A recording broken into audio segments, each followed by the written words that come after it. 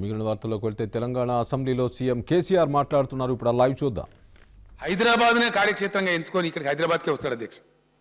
హైదరాబాద్కు వచ్చి రాజేందర్ నగర్లో ఇప్పుడు ఉన్నటువంటి NIRD national institute of rural development institute ఏదైతే ఉందో దాన్ని స్థాపించిన మహనీయుడు గొప్ప వ్యక్తి ఎస్కే డే గారు అధ్యక్ష. ఇప్పుడు అక్కడికి పోతే లైబ్రరీ ఉంది ఆ పుస్తకాలు ఉన్నాయి.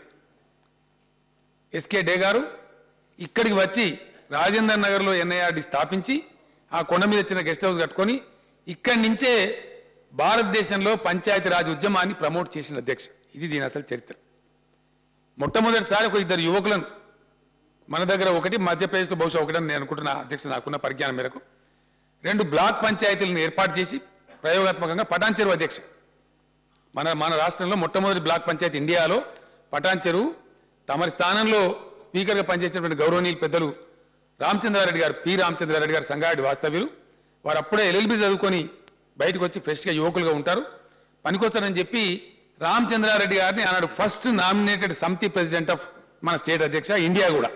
భారతదేశంలో ఏర్పడ్డ తొలి పంచాయతీలలో మన రాష్ట్రంలో ఉన్నటువంటి పటాన్చర్ ఒకటి దానికి నామినేట్ అనే వ్యక్తి మొట్టమొదటి తొలి సమితి ప్రెసిడెంట్ తమ స్థానాన్ని గ్రహించి కూర్చున్నటువంటి మన మాజీ స్పీకర్ గారు పి. రామచంద్రారెడ్డి గారు అధ్యక్ష. అట్లా వారి దగ్గర నుంచి ప్రయోగాత్మకంగా మొదలుపెట్టి పంచాయతీరాజ్ ఉద్యమాన్ని విస్తరించినారు.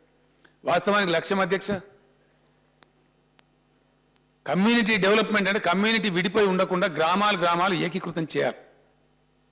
ఆ గ్రామాలను బాగా చేయాలి. దానికోసం సమితిలు బ్లాక్ పంచాయతీలు పెట్టి సమితి ప్రెసిడెంట్లను పెట్టి విశేషమైన అధికారాలు వాళ్ళకు ఉండే అధ్యక్ష. కొత్తగా డెబ్బై మూడవ రాజ్యాంగ సవరణ కంటే చాలా గొప్ప అధికారాలు ఉండే. ఎస్ రామచంద్రారెడ్డి గారు అధ్యక్ష సోలిపేట రామచంద్రారెడ్డి గారు. వారు ఇప్పుడు రాజ్యసభ కూడా ఉండ్రి మెంబర్గా. నేను దుబ్బాకలో హై స్కూల్ చదువుకునే టైంలో వారు దుబ్బాక సమితి ప్రెసిడెంట్గా ఉన్నారు అధ్యక్ష. నేను ఎయిత్ క్లాస్ స్టూడెంట్గా సెవెంత్ క్లాస్ స్టూడెంట్గా వారి జీబులో వారు మమ్మల్ని తీసుకెళ్తే కొంతమంది పిల్లలం దుబ్బాక హై స్కూల్ నుంచి పోయి కొన్ని గ్రామాలలో ఫ్యాన్సీ డ్రెస్లు వేసిన అధ్యక్ష కల్చరల్ ప్రోగ్రామ్స్ దళిత వాడలలో పారిశుద్ధ్యాన్ని మంచిగా పాటించిన వాళ్ళకు మంచిగా పాటించిన గ్రామాలు కావచ్చు బస్తీలకు కావచ్చు ఇండ్లకు కావచ్చు ఆ రోజులలో ఆ అల్యూమినియం పాత్రలు బహుమానంగా ఇచ్చేది అధ్యక్ష. అంత బాగా సమితిలు పనిచేసే ఆ రోజులలో. సమితి ప్రెసిడెంట్లను చూసి ఎమ్మెల్యేలు భయపడేటువంటి పరిస్థితి. అన్ని పవర్స్ ఉండేటివి డాక్టర్ల జీతాలు సమితి ప్రెసిడెంట్లే ఇచ్చేది. ఉపాధ్యాయుల శాలరీసు సమితి ప్రెసిడెంట్లే ఇచ్చేది. పశు వైద్యుల డాక్టర్ శాలరీసు సమితి ప్రెసిడెంటే ఇచ్చేది. డెబ్బై మూడవ రాజ్యాంగ సవరణ కంటే కూడా ఇంకెక్కువ పవర్స్ ఉండే అధ్యక్ష. టీచర్ల అపాయింట్మెంట్ కూడా సమితి ప్రెసిడెంట్ గారికి ఉండేది. అంత గొప్పగా చాలా అద్భుతంగా ఉన్నటువంటి పరిస్థితి. బ్లాక్ డెవలప్మెంట్ ఆఫీసర్ బీడీఓల అధ్యక్ష. హైలీ కంప్లీట్ ఆఫీసర్స్ చాలామంది పనిచేసేవాళ్ళు. Village extension officer village VLW village level workers అని ఉందరు అధ్యక్ష. లక్ష్మారెడ్డి గారిని ఒక బిఎల్డబ్ల్యూ ఉండేది. మా ఊరికి వచ్చే అధ్యక్ష మా ఇంట్లోనే మూడు రోజులుండి అగ్రికల్చర్ ఎక్స్టెన్షన్ కూడా వాళ్ళని చెప్పేది. ఇట్లా కాదు ఇట్లా చేయాలి ఇట్లా కాదు ఇట్లా చేయాలని చెప్పి రైతుల ఇళ్ళలో పండుకొని రెండు రోజులు మూడు రోజులు ఉండి వాళ్ళు ఏది పెడితే తిని పనిచేసిన అధికారులు కూడా ఉండ్రి. అంత గొప్పగా ఉన్నటువంటి పంచాయతీరాజ్ వ్యవస్థను చిన్న భిన్నం చేసినారు అధ్యక్ష. రాజకీయ పరం చేసినారు. పొలిటికలైజ్ చేసినారు. దాని స్వయం ప్రతిపత్తిని సంపూర్ణంగా దెబ్బతీసినారు. అందువల్ల అది చిన్న భిన్నం అయిపోయినది.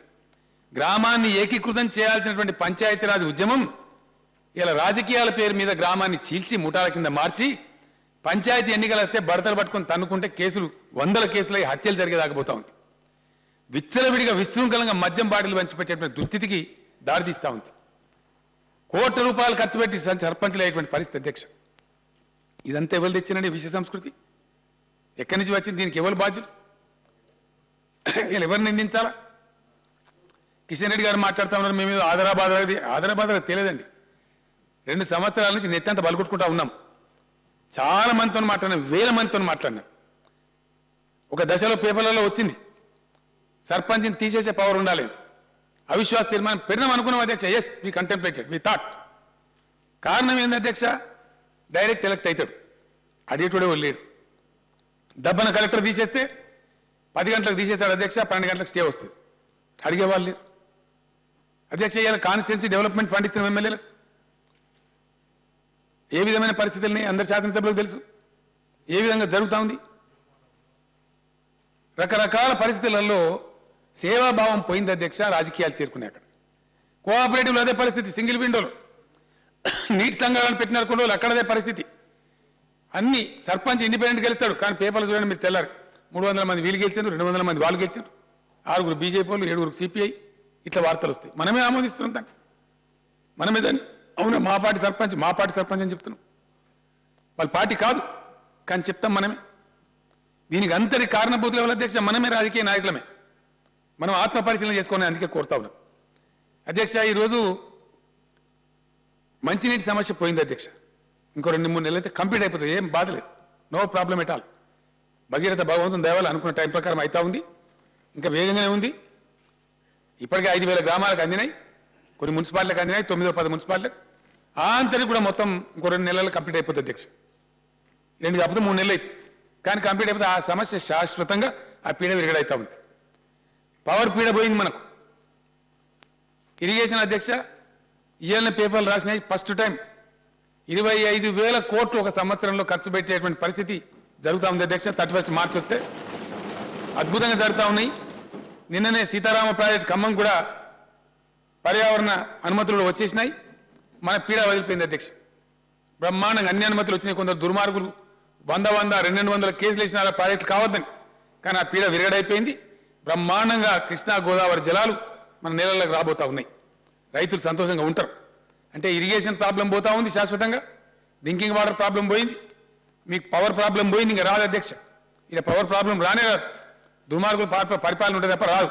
కొద్దిగా మంచిగా పరిపాలన చేస్తుంటే గ్యారంటీ ఇట్లే ఉంటుంది. కాబట్టి ఇబ్బంది లేదు. ఇట్లా రోడ్లు భవనాలు ఆర్ఎన్బి శాఖ చేస్తూ ఉంది.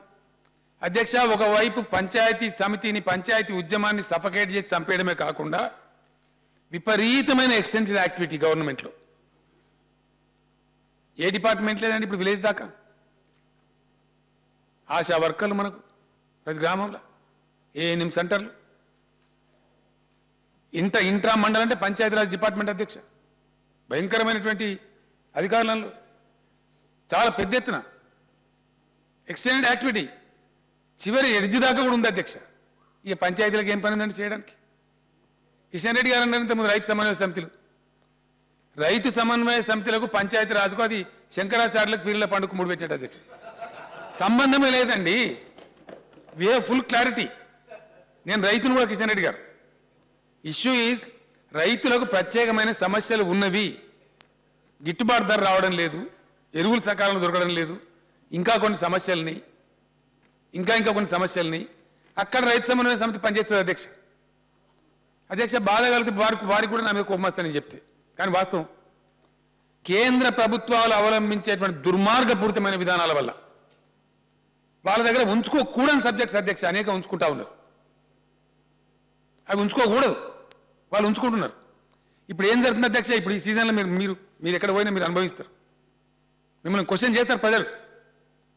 భారతీయ జనతా పార్టీ ఇప్పుడు ఏం జరిగింది అధ్యక్ష? నేను చెప్పిన అరుణ్ జైట్లీ గారికి పెట్టకండి దయచేసి మంచిది కాదు. మీరు ప్రధానమంత్రి గారు చెడ్డ పేరు తెస్తారని కూడా చెప్పిన అధ్యక్ష ముఖం మీద. ఆయన పెట్టేసినారు. ఇప్పుడు ఏం జరుగుతుంది తెలుసా అధ్యక్ష? పిఓఎస్ పిఎస్ఓన పిఓఎస్ పిఓఎస్ కార్డు గుంజే మిషన్ అధ్యక్ష. పాయింట్ ఆఫ్ సేల్ దగ్గర మిషన్ ఉంటుంది. ఇప్పుడు ఏం చేయాలి? ఇప్పుడు దేశంలో రై- ఎరువు కొనుక్కోవాలంటే రైతు పోయి బయోమెట్రిక్ పెట్టాలి అధ్యక్ష. ఆధార్ కార్డు ఇవ్వాలి అది గీకాలి మిషన్. అప్పుడు ఎరువిస్తారు లేకపోతే ఇయ్యరు. ఇంతమంది రైతులు ఎన్ని కోట్ల మంది రైతులు ఈ దేశంలో? మీరు ఎంతమందిని లైన్లో పెట్టదలుచుకున్నారు అధ్యక్ష ఇది చాలా తప్పు చేస్తున్నారండి నేను చెప్పిన అధ్యక్ష వివరించి చెప్పాను. మామూలుగా మామూలుగా ఉంటేనే వర్షం పడితే ఎరువు బస్తాల కోసం లైన్ నిలబడి చచ్చిపోతారు రైతులు. పొద్దున్న సాయంత్రం దాకా నిలబడతారు కానీ బస్తాలు దొరికిన పరిస్థితులు ఉంటాయి. ఏది మంచిగా అరుగులు అందుబాటు ఉంటే లేకపోతే పోలీస్ స్టేషన్లో పెట్టాం మీరు మన రాష్ట్రంలో. మనమే చూసినాం. చెప్పులు లైన్లో పెట్టిపోతారు అధ్యక్ష రైతులు. అవన్నీ కూడా మనమే చూసినాం. ఈ మధ్య కొద్దిగా నివారణ అయింది. మేము పోయి చెప్పినాం అనంతకుమార్ గారికి నేను ప్రత్యేకంగా చెప్పినాం. ఎవరికి పట్టినప్పుడే మాకు ఏంటి సార్ అంటే ఆయన దయచేసి ఇచ్చినారు. ఇస్తే సకాలంలో ఇస్తున్నాం ఇక్కడ. ఇప్పుడు అది పోతుంది ఇక. ఎట్లా పోతుంది? రైతు పోవాలి ఆయన బయోమెట్రిక్ పెట్టాలి ఆయన ఆశ అదేంది? కార్డు ఇవ్వాలి ఆధార్ కార్డు. మళ్ళీ పిఓఎస్ అంటే దాంట్లో డబ్బులు నగదు తీసుకోరు. అది గుంజాలి. ఎందుకు చేసిన అధ్యక్ష ఇది? నేను అడిగిన ఎందుకు చేస్తున్నాను నేను? ఫర్టిలైజర్ సబ్సిడీలో ఫర్టిలైజర్ కంపెనీలు కేంద్రానికి కొంత తప్పుదారి పట్టిస్తున్నాయి. అందులో ఒక రెండు మూడు వేల కోట్లు దుబారా అవుతున్నట్టు మాకు రిపోర్ట్లు ఉన్నాయి ఆ దుబారాను అరికట్టడానికి పనిచేసిన నేను అన్న రెండు మూడు వేల కోట్ల కోసం ఇన్ని కోట్ల మంది పనిష్మెంట్ చేయాలన్నా ఇంకేదైనా పద్ధతి పెట్టచ్చు కదా అని పెట్టలే. ఇంప్లిమెంట్ అయిపోయింది అధ్యక్ష. నిన్ననే నిన్న మొన్న నేను నా ఫామ్ కూడా నేను అడిగిన. మరి మనకు యాభై నూరు బస్తాలు కావాలి ఇప్పుడు నా సంగతి నేను పోవన్నట్టు నువ్వు కూడా రావాలి సార్ అన్నాడు. బాపిరెడ్డి అని ఆయన ఇరవై షాప్ డీలర్ అధ్యక్ష. ఒంటి మామిడి కాడ. ఆడ కొనుక్కుంటా నేను. మరి నేను రావాలంటే రావాలి సార్ లేకపోతే నా నా లైసెన్స్ మళ్ళీ మీరే క్యాన్సిల్ చేస్తారు అన్నాడు ఆయన. అతను సెటైర్గా మాట్లాడడం మీ వ్యవసాయ శాఖ మంత్రి గారే నా లైసెన్స్ తీసేస్తారు ఎందుకంటే నువ్వు ఎట్టించిన బిడ్డ అని చెప్పి అంటారు కాబట్టి మీరైనా సరే పెట్టాల్సిందే సార్ మీరు దాని రానంటే నేను మిషన్ తీసుకొని వస్తాను. ఇట్లా ఉంది పరిస్థితి. నేను ఏమంటున్నా అంటే మీరు దయచేసి తప్పు పట్టుకోవద్దు. గ్రౌండ్ మీద ఉన్న రియాలిటీ ఇగో ఇటువంటి బాధలు రైతులకు చాలా ఉన్నాయి. మార్కెట్లకు ఇబ్బడి ముబ్బడి రావడం పండిన పంట ఒకటే రోజు చాలా గ్రామాలు రావడం ఆడ జాగా ఉండకపోవడం కిలోమీటర్ల కొద్ది ట్రాక్టర్లలో ధాన్యం అట్లే ఉండడం రాత్రి వర్షం కురవడం ధాన్యం తడిసిపోవడం మళ్ళీ దానికి మేము దా తడిసిన ధాన్యం కొనాలని వాళ్ళు అంటారు. ఇవన్నీ చిక్కులున్నాయి రైతులకు. ఎందువల్ల? ఇనుప ముక్కలు ఏరుకొని అమ్ముకునే వాళ్ళకు కూడా ఆర్గనైజేషన్ ఉంది కానీ రైతులకు లేదు. సంఘం లేదు. రైతులను సంఘటిత రంగంలోకి తీసుకురావడం కోసం చేసే ప్రయత్నం రైతు సమన్వయ సమితి. అంతకుమించి వేరే దురుద్దేశం లేదు అక్కడ.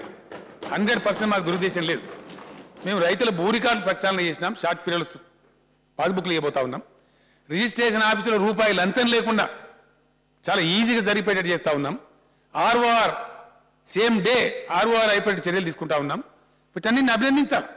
వీటిని సమన్వయం చేయడం కోసం ఒకటే రోజు ధాన్యం తీసుకొని రాకుండా ఏ రోజు నిర్ణీత గ్రామాలు నిర్ణీత రోజు మార్కెట్ ధాన్యం తెచ్చే ఏర్పాట్లు చేస్తూ ఉన్నాం. ప్రతి ఐదు ప్రతి ఐదు వేల ఎకరాలకు ఒక అగ్రికల్చర్ అసిస్టెంట్ నియమించినాం. వాళ్ళ ద్వారా ఎప్పటికప్పుడు విజ్ఞానం అందించబోతా ఉన్నాం. అధ్యక్ష మూడు వందల కోట్ల రూపాయల ఖర్చైన రైతు కూసోవతే జాగ్రత్త అధ్యక్ష చేయాలి. వాళ్ళకు రైతు వేదికలు నిర్మి- నిర్మించబోతా ఉన్నాం. దానికోసం రైతు సమన్వయ సమితులు కిషన్ రెడ్డి గారు మీరు దయచేసి అపార్థంగా ఉండొద్దండి. అది ఒక మంచి ఉద్దేశంతో వాళ్ళ బాధ తీర్చేటువంటి తప్ప పంచాయతీరాజ్ దానికి సంబంధం లేదు. పంచాయతీరాజ్ వాళ్ళు చేయవలసింది. అధ్యక్ష నేను ఇంకో మాట చెప్తా తమరు ఏమనుకోదు కిషన్ రెడ్డి గారు. మొక్కలు వాళ్ళు పెట్టుకోరానే మీరెందుకు అడితే ఆరం మీరు ఇక్కడికి వెళ్ళి చూస్తానన్నారు అధ్యక్ష మేము సంకల్పించింది రెండు వందల యాభై కోట్ల మొక్కలు పెట్టాలి అధ్యక్ష. ఏది అడవులలో ప్లస్ సోషల్ ఫారెస్ట్లో కలిపి. సోషల్ ఫారెస్ట్లో మనం ఎన్ని మొక్కలు పెట్టినా అడవుల రిజర్వేషన్ కిందకి రాదు. ఫారెస్ట్ రిజ్యూవనేషన్లనే చాలా పెద్ద ఎత్తున జరుగుతుంది. హరిత కార్యక్రమం జరగాలంట. సభ్యుల వల్ల ఇంట్రెస్ట్ ఉంటే రావచ్చు. నా నియోజకవర్గంలో అటవీ అధికారిని నేను అభినందిస్తా ఉన్నా ఒక ముప్పై వేల ఎకరాలు అటవీ ఉంది అధ్యక్ష. మొత్తం పోయినట్టు జీరో. ఇవాళ దాన్ని రిజ్యూనేట్ చేసినారు. ప్రైమ్ మినిస్టర్ గారు కూడా చూసినారు. కోమటి బండ ప్రాంతంలో ఎక్కడైతే వారు భగీరథ ఇనాగ్రేట్ చేసినారు ఏ క్యోం పోదేలాగా అని అడిగినారు. మంత్రి హరీష్ చెప్పినాడు ఇదంతా ఫారెస్ట్ రిజ్యూనేషన్ చేస్తున్నామని. ఈ ఫెల్ట్ వెరీ హ్యాపీ కిస్ కిస్కే తయారు కర్రారంటే మేము ఇప్పుడు హరితహారం అని ప్రోగ్రాం పెట్టుకొని చేస్తున్నామని చెప్పినాం. అధ్యక్ష మొత్తం ఆంధ్రప్రదేశ్ చరిత్రలో ఇది చెప్తే నమ్మలేకుంటే ఉంటుంది అధ్యక్ష. నేను కూడా ఆశ్చర్యానికి లోనైంది. మేము ఎందుకు ప్రమోట్ చేస్తున్నాం మొక్కలంటే ఆంధ్రప్రదేశ్ మొత్తం చరిత్రలో ఏ ఒక్క సంవత్సరం కూడా ఒక యాభై లక్షల మొక్క కూడా పెట్టలేదు అధ్యక్ష ఏ ఒక్క సంవత్సరం కూడా. నో సింగిల్ ఇయర్ ఎక్కడన్నా నర్సరీలు ఆనో ఇన్నో పెడితే కలెక్టర్లు వాళ్ళు ముఖ్యమంత్రి అయినప్పుడు మంత్రి అయినప్పుడు ఫోటో ఫోటో కోసం ఒక మొక్క పెట్టాలి. ఇది ఆ పదిహేను రోజులు ఇరవై రోజులు వన మహోత్సవం పేరిట ఇంకో పేరిట మొక్కలు నాట that was the fashion but we have taken it is a great task నాలుగు వేల నర్సరీలు పెట్టినాం కిషన్ రెడ్డి గారు ఇప్పుడు ఆ కల్చర్ లేదు. మీరు బిల్లులో ఉంది అలా every village shall maintain its own nursery తమరు చూడండి. మేము ఎంపవర్ చేస్తున్నాం ఇప్పుడు గ్రామాలను మున్సిపాలిటీలను ఇదే బిల్లో ఉంది. ఇనీషియల్గా ప్రారంభంలో దిక్కు లేదు కాబట్టి పరిస్థితి లేదు కాబట్టి అవగాహన శక్తి లేదు కాబట్టి మొక్కలు ఎట్ట పెంచానో ఇత్తనాలు ఎక్కడ దొరుకుతాయో తెలియదు కాబట్టి స్టేట్ గవర్నమెంట్ టేకప్ చేసింది అది. ఈరోజు దాన్ని ఈ బిల్లు ద్వారా కొత్త బాడీస్ వస్తాయి కాబట్టి every village shall have its own nursery లేకపోతే సర్పంచ్ తొలగించబడతాడని చెప్పినాం. తప్ప అండి? Every municipality shall have its own nursery లేకపోతే ఆ మున్సిపల్ చైర్మన్ పదవి రద్దు చేస్తామని చెప్తున్నాం. తప్ప? అధికారం కలెక్టర్కి ఇచ్చినాం. తప్ప అనండి? అధ్యక్ష మాటలు మాట్లాడు వేరు ప్రాక్టికల్ చేసుడు వేరండి. ప్రాక్టికల్ నేను కూడా ఉన్నాగానండి. నేను ఎక్కడ పోయినా? థర్టీ ఫైవ్ ఇయర్స్ నుంచి నేను కూడా కంటిన్యూస్గా ఏదో ఒక పదవిలో ఉన్న అధ్యక్ష. చూస్తూనే ఉన్నాం గ్రామాలు. ఫోటో బాబత్ మొక్కలు నేను కూడా నాటిన. అలా నేను భాగస్వామ్యం కాదని అంటలేను. నిజంగానే గ్రీన్ కవర్ ఇంప్రూవ్ కావాలంటే అద్భుతంగా వీళ్ళు పనిచేయాలి. దాన్ని చట్టం పరిధిలోకి తెచ్చినాం. ఖచ్చితంగా గ్రామంలో చట్టం పరిధిలో కాదు, చాలా కఠినంగా తెచ్చినామండి. ఎనభై ఐదు శాతం మొక్కలు కనుక సర్వైవ్ లేకపోతే ఆ గ్రామ సెక్రటరీ విల్ బి ఊస్టెడ్ అని పెట్టినాం. అధ్యక్ష will be remove remove from service అయితే తప్ప పెరిగే పరిస్థితి లేదు. వైడ్ లైట్ వేయండి ఇల్లు బ్రైట్ చేయండి. గ్రామ పంచాయతీలకు నిధులు ప్రభు ప్రభుత్వాలు ఇయ్యలే. ఫైనాన్స్ కమిషన్ గ్రాంట్ తప్ప ఈ రాష్ట్రంలో ఆ కల్చరే లేదు. గ్రామ పంచాయతీకి నిధులు ఇవ్వలే ఏదో రిజిస్ట్రేషన్ వాటా ఈ వాటా ఆ వాటా అది చక్కగా ఇవ్వకపోవడం సీనియర్ ఇన్ఛార్జ్ అనడం ఇవ్వకపోవడం కూడా జరిగింది. అది కూడా అధ్యక్ష ఓ దగ్గర హైదరాబాద్ సిటీ పక్కన గ్రామ పంచాయతీ ఉన్నది అనుకోండి. ఇక్కడ రిజిస్ట్రేషన్ ఎక్కువైతే డబ్బులు ఎక్కువ వస్తాయి. టౌన్లో పక్క ఉన్న వాటికి ఎక్కువ వస్తాయి. ఏజెన్సీ ఏరియాలో అయితే అసలు అమ్మకాలే ఉండే భూములు అమ్మకం ఉండదు కొనుగోలు ఉండదు. వాళ్ళకి రూపాయి రాదు. పేరుకు రిజిస్ట్రేషన్లో వాటా ఉన్నట్టే కానీ అందరికి రాదు యూనిఫామ్గా. అట్లనే సీనరేజ్ ఎక్కడైతే మైన్ ఉందో అక్కడ వస్తుంది. ఎక్కడైతే బాగుంటుందో నది ఉంటుందో అక్కడ ఇసుక ఉంటే అక్కడ రూపాయి వస్తుంది. లేని కాడ అధ్యక్ష రాదు. కాబట్టి మేము అవలంబిస్తున్న పద్ధతి ఏంటంటే ఇది ఆరోగ్యకరంగా లేదు యూనిఫామిటీ లేదు అన్ని గ్రామ పంచాయతీలు సమాంతరంగా అభివృద్ధి చెందాలి. చెందాలంటే కొందరికి డబ్బులు దొరికి కొందరు దొరకక కొన్ని చోట్ల రిజిస్ట్రేషన్లు కొన్ని చోట్ల కాక ఉండడం కరెక్ట్ కాదు అని ఆలోచన చేసి అధ్యక్ష గౌరవ ఆర్థిక శాఖ మంత్రి గారు రెండింటి కూడా పెట్టినారు అధ్యక్ష.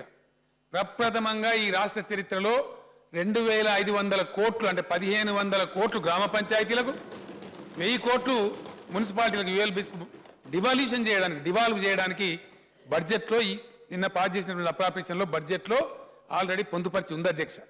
అంటే ఈ కాని నుంచి క్రమం తప్పకుండా ఇది ఎస్ఎఫ్సి నిధుల వాళ్ళు సెంట్రల్ గవర్నమెంట్ ఇచ్చేటువంటి ఫైనాన్స్ కమిషన్ నిధులకు అదనం అధ్యక్ష ఇది. అది కలుపుకొని కాదు. ఈ పదిహేను వందల కోట్లు గ్రామ పంచాయతీలకు వెయ్యి కోట్లు యుఎల్బీస్ యుఎల్బీస్ అంటే అర్బన్ లోకల్ బాడీస్ మన మున్సిపాలిటీలు అంటాం. వీటికి రెండు వేల ఐదు వందల కోట్లు కేటాయించినారు మంత్రి గారు. క్రమం తప్పకుండా ఎవ్రీ క్వార్టర్ గ్రామ పంచాయతీలకు నిధులు పోతాయి అధ్యక్ష. అధ్యక్ష అతి చిన్న గ్రామానికి కూడా మూడు లక్షల రూపాయలు పోతాయి అధ్యక్ష. మూడు వందల రూపాయల లోపు ఉన్నటువంటి జనాభా ఉన్నటువంటి గ్రామానికి కూడా మూడు లక్షల రూపాయలు పోతాయి అధ్యక్ష. మూడు లక్షల నుంచి పైకి స్లాబ్స్ పెడతా ఉన్నారు. అది ఆలోచన చేస్తూ ఉన్నారు. పిఆర్ మినిస్టర్ గారు వాళ్ళ డిపార్ట్మెంట్ అంతా ఆలోచిస్తూ ఉన్నారు. ఏ ఏ టైర్కి ఎంత ఇవ్వాలి ఎంత జనాభా ఉంటే ఎంత ఇవ్వాలని ఇస్తా ఉన్నారు. ద లోయెస్ట్ లోయెస్ట్ అతి చిన్న ఒక గ్రామం అయితే అధ్యక్ష ఒక ఒక వంద ఆరు మందితోనే ఉన్నది. నేను అడిగిన పంచాయతీరాజ్ మినిస్టర్ గారిని వాళ్ళ సిబ్బందిని అడిగిన. ఏమండి వంద ఆరుకు పెట్టినారు ఏం సంగతి అని. ప్రత్యేక పరిస్థితి పదహారు కిలోమీటర్ల దూరం ఉంది. వాళ్ళు కోరిందా ప్రజలు అని అడిగినారు. అధ్యక్ష ఇక్కడ ఇంకో మాట కూడా చెప్పాలి. కొంతమంది పెద్దలు నాకు చెప్పినారు. మీరు మరీ మూడు వందల పంచాయతీ పెడుతుంటే దీనికి వయబిలిటీ ఎట్లుంటుందండి అన్నారు. నేను what is viability can you define ఏంది వయబిలిటీ నేను వయబిలిటీ ఎట్లా అని? ఏందా వయబిలిటీ అంటే నోరు తెరుస్తారు చెప్పండి.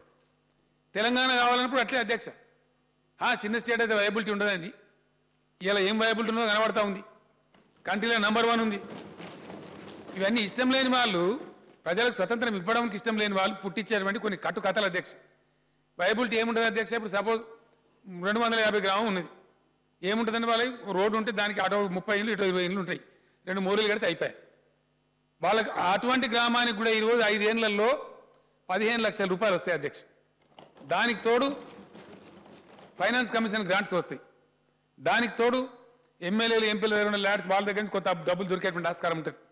దానికి తోడు అధ్యక్ష గ్రామీణ ఉపాధి ఆది పథకం నరేగా ఫండ్స్ ఉంటాయి. దానికి తోడు శ్రమదానం చేసే కల్చర్ పెడితే ఆ- ఆ శ్రమ జరుగుతుంది. ఇట్లా రకరకాలుగా డబ్బులు అందుబాటులోకి వస్తాయి. కాబట్టి వయబిలిటీ అనే ముచ్చట లేదు. ఎంత చెట్టుకు అంత గాలి అన్నట్టు ఎంత స్థాయి ఉన్న గ్రామానికి ఎంత జనాభా ఉన్న గ్రామానికి అంత డబ్బులు పోతాయి. ఆ రకంగా చాలా బాగా జరిగేటువంటి ఆస్కారం ఉంటుంది. అధ్యక్ష మొత్తం మీద మున్సిపల్ చట్టం అధ్యక్ష అది కూడా చెప్పాల్సిన అవసరం ఉంది. పంచాయతీరాజ్ ఇప్పుడు ఎన్నికలు పెట్టాల్సిన అవసరం ఉంది అధ్యక్ష. ఇంకో మాట కూడా నేను మనవి చేస్తా ఉన్నా. మేము ఆదరాబాదరకు తేలే బిల్లు. కారణం ఏంటంటే జూలైతోని పంచాయతీల యొక్క గడువు ముగుస్తూ ఉంది. రాజ్యాంగ జూలై లోపే ఎన్నికలు పెట్టాలా. ఎట్టి పరిస్థితుల్లో పెట్టాలా. తప్పని పరిస్థితి. మూడు నెలల ముందు పెట్టాలని రాజ్యాంగం ఉంది అధ్యక్ష. దాన్ని కూడా క్యాచ్ కాలేము ఇంకా. అంటే మూడు నెలల లోపల ఎప్పుడైనా పెట్టచ్చు. అధ్యక్ష వాస్తవానికి ఈ పాటికి అయిపోను. నా ప్రకారం అయితే నేను తమరికి కూడా తెలుసా విషయం. పోయినసారే స్పెషల్ సెషన్ పిలిచైనా పెడదామని అనుకున్నాం. పంచాయతీ ఎలక్షన్ నిర్వహిస్తామని చెప్పినాం అధ్యక్ష. నిర్వహించాల్సి ఉండే. కానీ ఆటంకం ఏమొచ్చిందంటే మొన్న ఇరవై నాలుగు వరకు ఈ నెల ఇరవై నాలుగు వరకు ఓటర్ లిస్ట్ పబ్లిష్ కాలేదు అధ్యక్ష. చీఫ్ ఎలక్షన్ ఆఫీసర్ గారు అయితే మార్చ్ ట్వంటీ ఫోర్త్ ఉందండి. లేకపోతే ఈ పాటి కొత్త సర్పంచులు వచ్చుంటారు అధ్యక్ష. ఈ పాటికే వచ్చుంటారు ఈ రాష్ట్రంలో. అంటే వాళ్ళ ఉన్నోళ్ళ టర్మ్ ఉంటుంది జూలై దాకా. ఎలక్షన్ జరిగి రెడీగా ఉంటుంది. వీళ్ళకి ట్రైనింగ్ ఇవ్వాలి తర్వాత వాళ్ళు ఆటోమేటిక్గా టేక్ ఓవర్ చేస్తారు. వాళ్ళు డ్యూ డేట్ అయిపోయిన తర్వాత. ఇప్పుడు కూడా అధ్యక్ష సభ్యులకు కన్ఫ్యూజన్ అవసరం లేదని చెప్తా ఉన్నాను. సపోజ్ ఇప్పుడు ఏదైనా ఏరియాను మున్సిపాలిటీలో కలిపినాం. ఇవాళనే కలపరండి దాన్ని. జూలైలో వాళ్ళ టర్మ్ అయిపోతా ఉంది. దాని తర్వాత ఆ పార్ట్ దాంట్లో కలుస్తుంది.